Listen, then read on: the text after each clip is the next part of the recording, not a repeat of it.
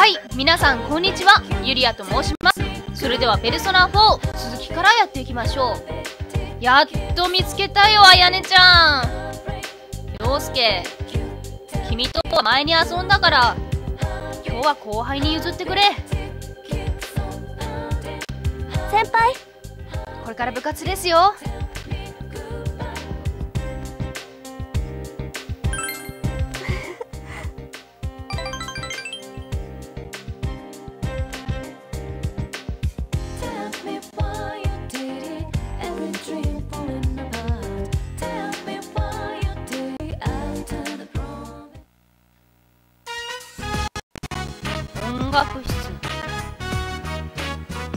ねちゃんも隣で吹いてる。感情を音に乗せて演奏した。響けユーフォニアム。ユーフォニアムだっけ？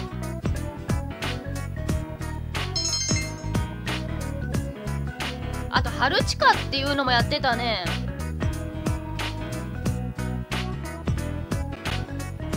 ああもう学校が閉まっちゃう時間ですね。さっき注意されたとこまだ全然。いや家で練習は近所迷惑だよ。諦めたらもうダメだね。今日は遅いからまた明日にしよ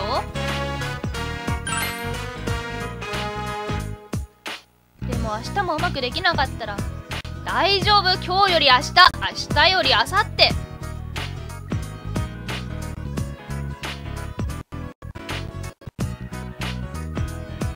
外で吹けたらいいんですけど一人なんでちょっと恥ずかしいですよね。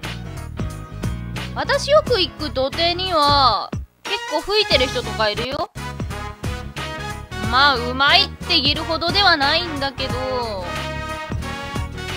くねトランペット吹いてる人とかクラリネット吹いてる人とかいるよ。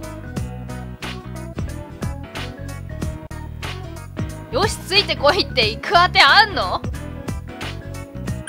いやここはもうなんか先輩らしく行こうか。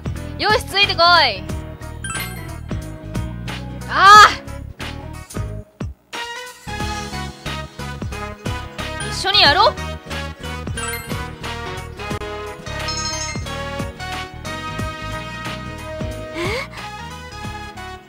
これは惚れたんじゃないのあやねちゃん。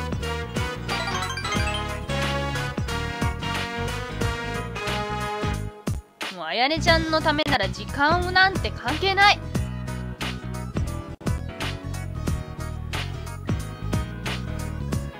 おーいいねこういうの。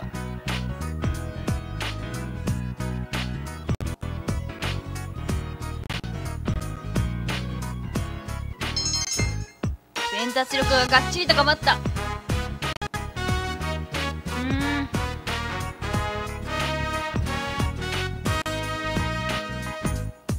ません。確かにトランペットはなんか3つ3本指でなんか押さえてなんか息の調節とかでなんか音の変化とかするらしいけどトロンボーンってどういう区切りがあるんだろう？それ難しいな。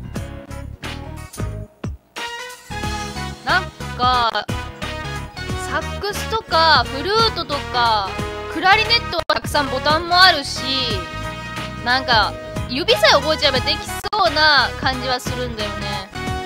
金管の特にトロンボーンは難しそう。先輩の練習の邪魔。なんて思わなくていいよ。邪魔なんてしてないよ。根性が足りないわ。熱血だな。そんなことはない。ええ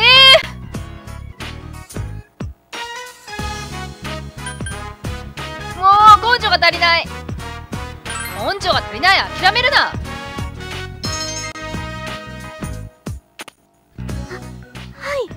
おおその調子。あやねちゃんのこの顔好きだなぱいと練習できて嬉しいです。もっと頑張りますね。ありがとうございます。うんいつでも付き合うよ。ほのかな好意を感じる。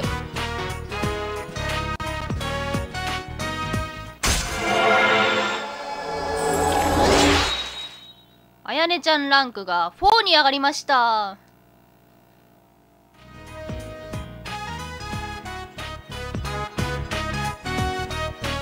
私才能ないって分かってるんですけど夢があって。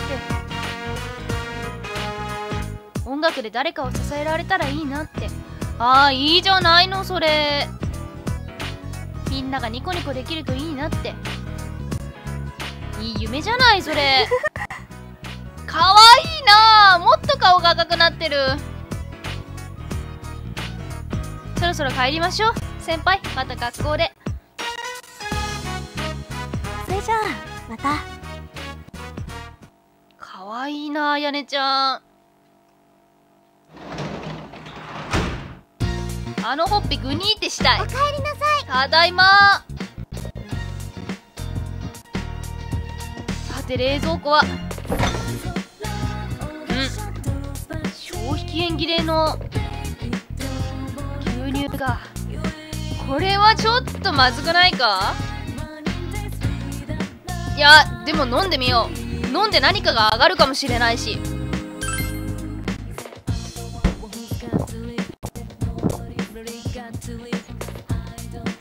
でも消費期限切れだったら熱を通せば大丈夫じゃないの？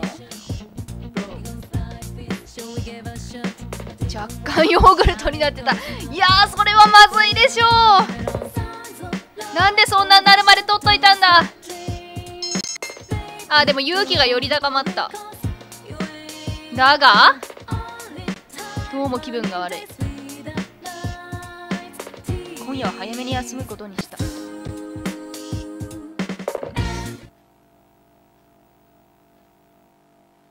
腹痛と下痢でお休みってことはないか。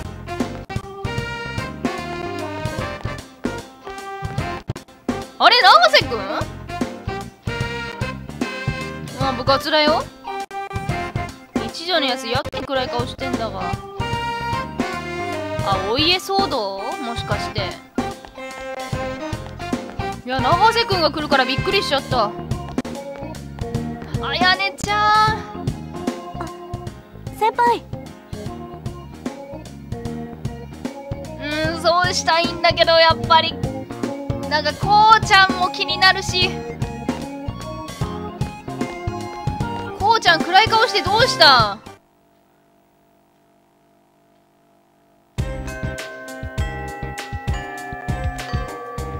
さてどうしようかな。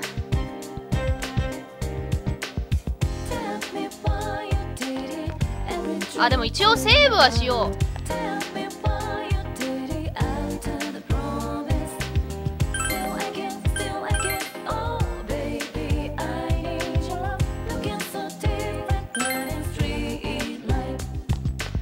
っぱり。やっぱり私は。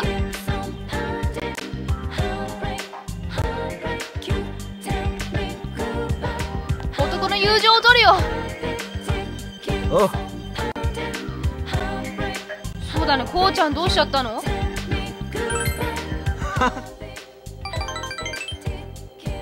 まるでバスケ部みたいな言い方だね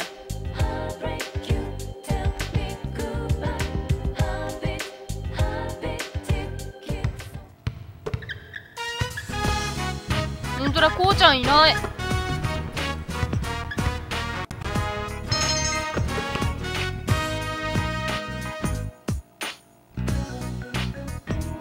なんか休養でもあったのだろうか。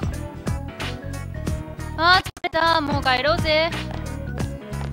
今のいる？その一言。いらない気がするんだけど。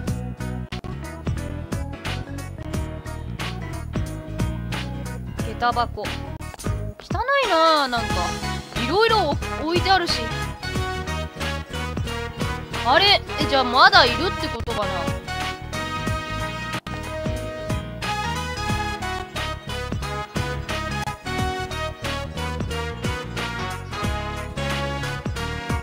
こうちゃんが行くところって言ったらどこだろう？上かい。屋上かい。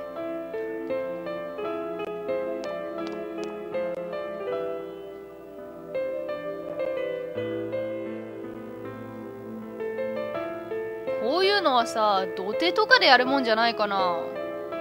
屋上か。部活終わった。うん。まあ理由でも聞こうか。何かあったの？はなんもなくないでしょこうちゃんあんなにバスケ好きって言ってたのに。いや嘘。ある。大したことはない。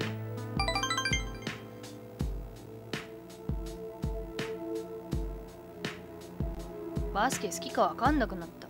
えなんで？好きにしろって言われたんだ。バスケやるのあんだけ反対してた家の人が急にバスケでも何でも好きにしろって。んで朝一人で練習してたんだけど何も思わないんだよ。楽しいとか悔しいとか何も思わなかった。そっか今まで反対し続けてた人が急にいいよって言い出したらね。どうなんだろう自分の思いが伝わったって私は思うけど。それとはまた別の方向に考える人がいるのかな。なんでみんなあんなに楽しそうなんだろうなとか思ってた。みんな急に遠くに感じて。あ鳥。鳥はいいな。あんな高いとこ飛べて。俺なんか海の底にいるみたい。貝になりたいとかって言い出すなよ。パーッと遊びに行こうって。かりしろの方がいいな男の場合は。まああやねちゃんもあんな厳しいこと言っちゃったけどね。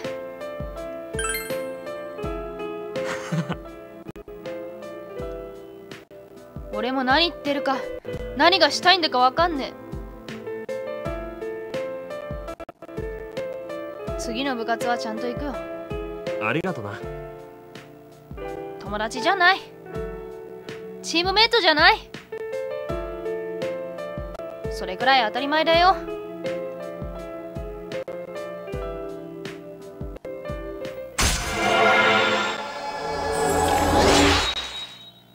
運動部の同級生たちランク5一番高いんじゃないか？これは。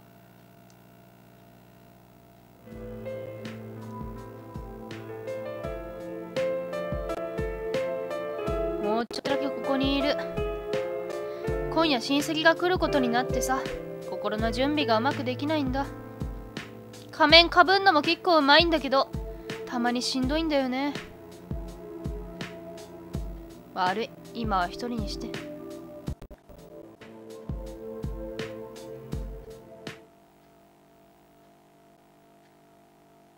うーん。こうちゃんもこうちゃんでいろいろ悩んでるんだね。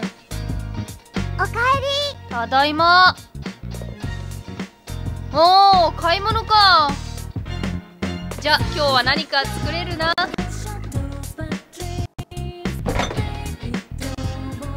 おう明日のお弁当を作ろう。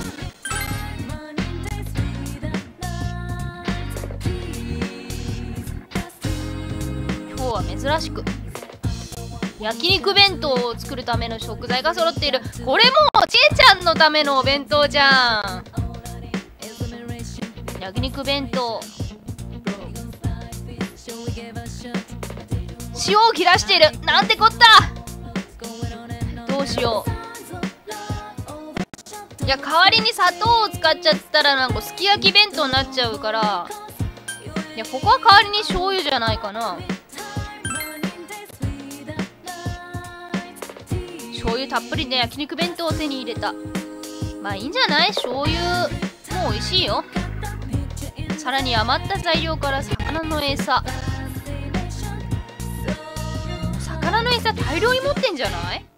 だっておじいちゃんからももらったし。今日から6月か。早いね。昼休み。あそうだ。ちえちゃんのためにお弁当作ってきたんだ。もうちえちゃんに決まってるじゃん。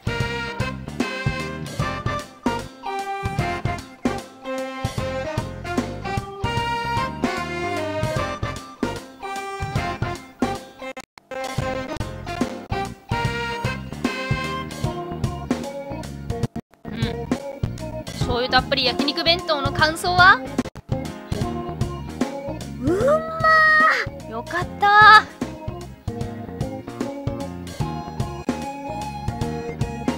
なんというジレンマ。これねちえちゃんのために作ってきたんだ。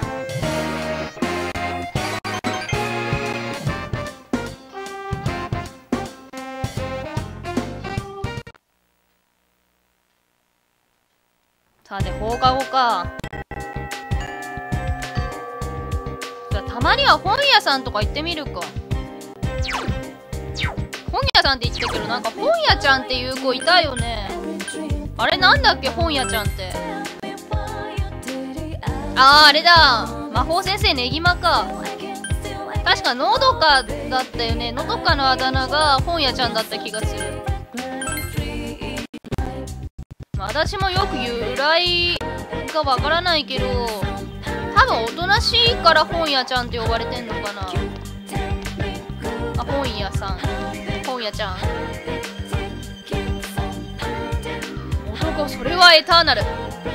なんかすごいな。おじゃあ買うか。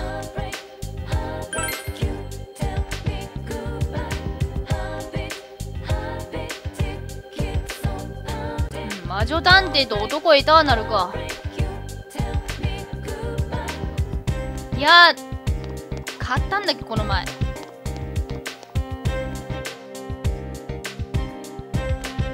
やカンジ君を助けて買いに来たっけここに。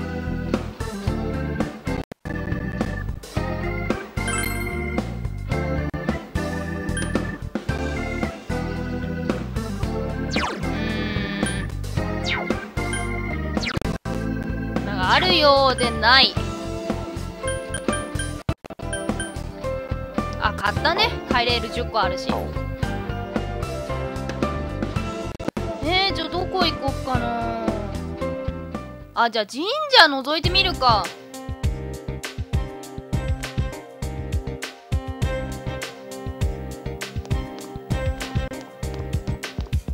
あそれだったらカンジ君のお見舞いとかもできるかなカンジ君のうちここだしあー門前払いそ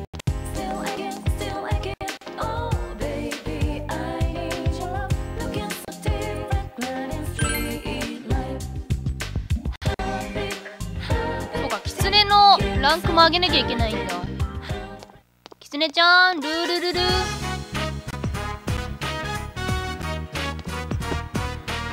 お、今度はどんな願い事？中からおやつが消えますように嫌いになりたいのです。ダイエットでもしてるのかな？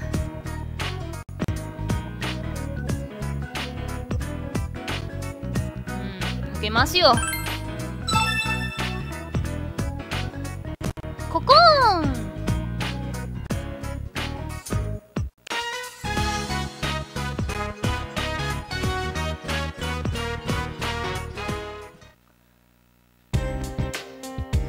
えそれじゃあさこのおやつ？おやつの子はどうしたらいいんだろう？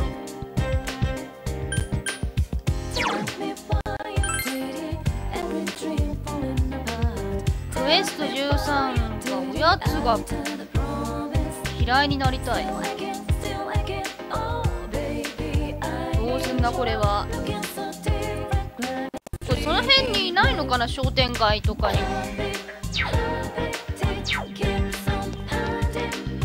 あなたですか？書いたの。あバイトか。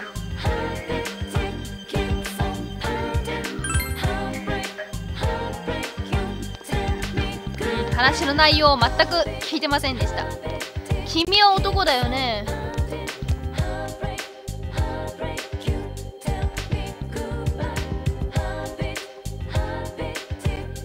えこれ学校の人とかだったら難しいんだけど。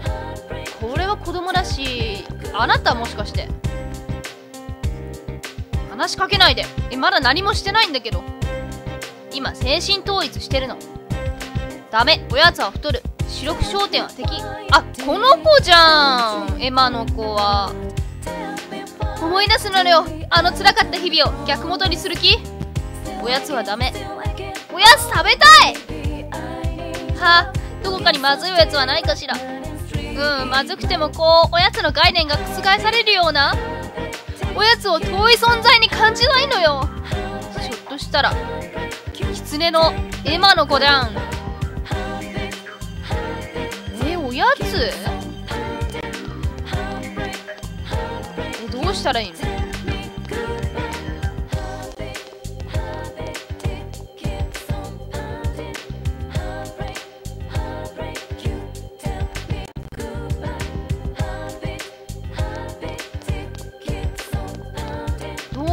学校戻るか特に用事がないから。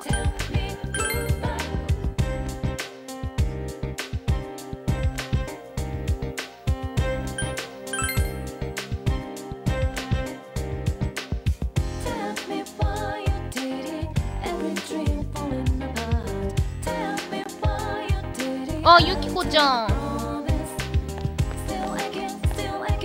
ゆきこちゃんだけかな？ちえちゃんとかはなんか陽介は一度断ったら出てこないのかな。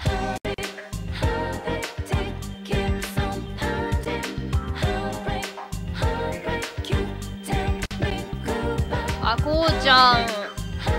こうちゃんはまた今度。じゃあ今日はゆきこちゃんに話しましょう。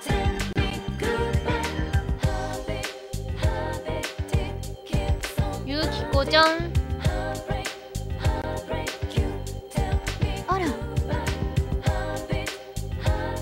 遊びに行こう。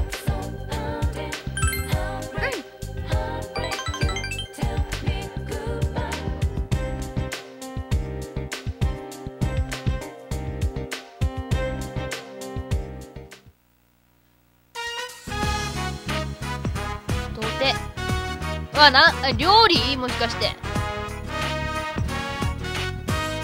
ああの美味しそうにできたから詰めてきたの。ね食べてみて。た目は普通のようだ。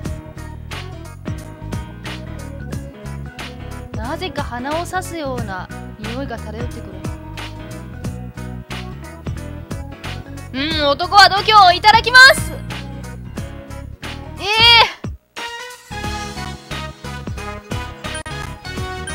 え。じゃあ味見かな。味見はしたの？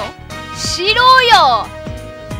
料理をする人は必ず味見をしてから他人に出しなよ。そういうの良くないと思うよ。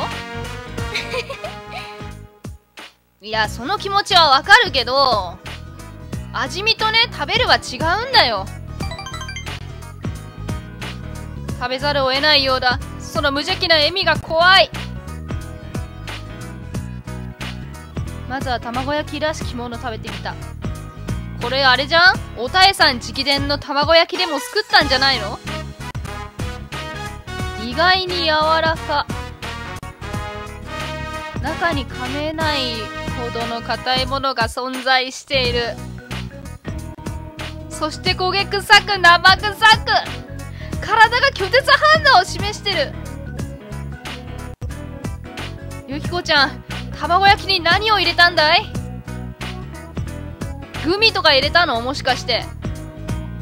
美味しかったって感じじゃないね。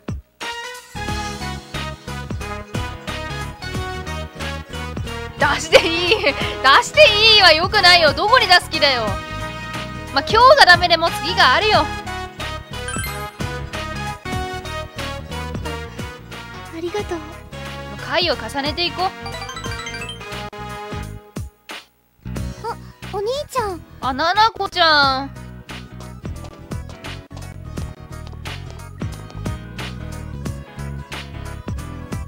えっとねお弁当を食べてもらったの。ななこちゃんもどうぞなんて言うんじゃないよゆきこちゃん。いいな。ななこちゃんやめてる。やめと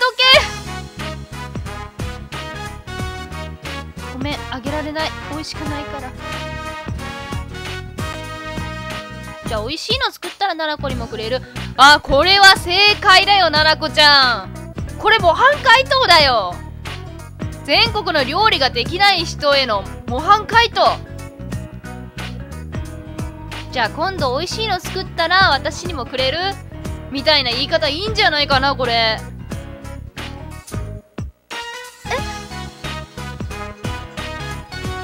それでさ今度ななこちゃんや主人公に出してる時今度こそ美味しいから私味見したしっていう感じの返答が来るんじゃないかな。それを期待してます。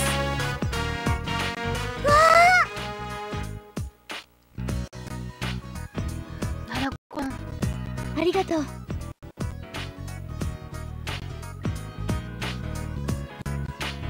みっちゃんち行くからバイバイ気をつけてね。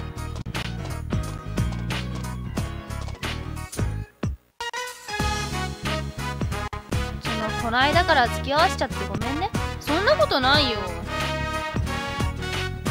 料理以外なら。まあ他は楽しんでおこう。それならよかった。うん。どんどん頼っちゃって。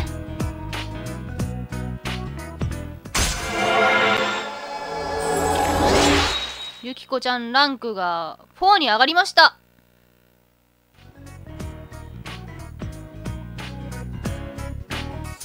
あと1年ちょっとか。早く一人で何でもできるようにならないとな。じゃあまたね。やっぱ食べれなかったか。